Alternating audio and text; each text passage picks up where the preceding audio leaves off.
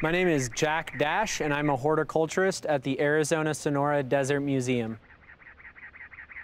This is creosote. Uh, the scientific name is Larrea tridentata. This plant occurs in the Chihuahuan, Sonoran, and Mojave Desert, and there are populations in the same genus Larrea that occur in the deserts of South America, particularly in Argentina.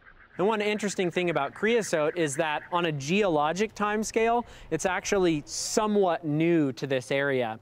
And as the area has become more arid, uh, creosote has been able to spread. By biomass, this is the most abundant plant in the Sonoran Desert. This is an incredibly tough plant that can thrive in a variety of environments. It's also one of the most arid adapted plants in North America and arguably on the planet. So there are creosote populations that have been documented as going, you know, two, three years without a drop of rain, uh, and they continue to survive. Not only that, but they can be incredibly long lived. Because these plants uh, have compounds which are antimicrobial, antibacterial, they're resistant to breaking down. And in fact, the oldest creosote known is in the Mojave Desert. It's called King Clone and is estimated to be about 11,700 years old. They spread clonally. That is to say that they will shoot up a new plant from the root system. So king clone forms this essentially fairy ring that all grew out of a single plant that was in the middle at one time. So genetically speaking, they're all identical and all clones of that first plant. One of the great things about creosote, uh, both in habitat and as a landscaping plant, is that it will bloom multiple times throughout the year. So when humidity spikes, when there's available moisture and enough heat, you're gonna get these beautiful yellow flowers.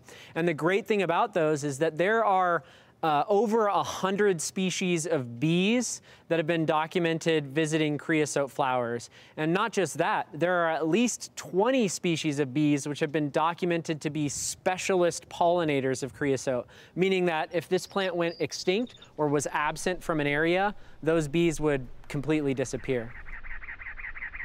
Rather than thorns, this plant has evolved what are called secondary compounds. And additionally, if you feel creosote leaves, they're kind of sticky. Uh, it exudes this substance that makes it incredibly unpalatable to animals. And additionally, Ingesting too much of it will have a negative effect on your gut flora, and so that long-term health of an animal that's eating a lot of creosote can decline. So pretty much the only Sonoran Desert animal that's really been documented eating these are the antelope jackrabbit, and really only under extreme circumstances.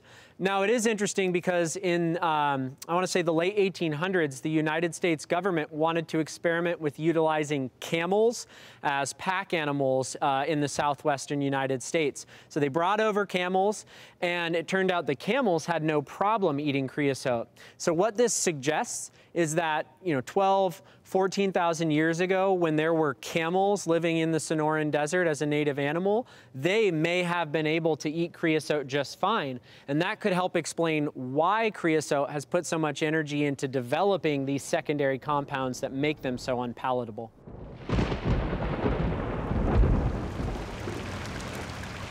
Immediately following rains or sometimes before rain even falls, you can start smelling that creosote in the air. Uh, it's really one of the most indicative aromas of the Sonoran Desert. And so it's the uh, glands on the leaves that are emitting that fragrance that carries on the wind. One of the best things about creosote is that it is one of the easiest plants you could really think of growing. Now, it does benefit from well-draining soil. So if you have a super heavy clay or caliche, that can be detrimental to the growth rate. However, they require very little water. If you do provide water, that plant is gonna grow substantially quicker. It's gonna bloom more often, which is gonna make it more valuable as a landscaping species. Another nice thing is if these plants aren't starved for water, they're evergreen. And so they make a really fantastic informal hedge that can screen a view without really taxing your water bill. I don't have a favorite plant because it changes almost every day uh, as new things come into bloom, but creosote is an absolutely essential plant to the desert.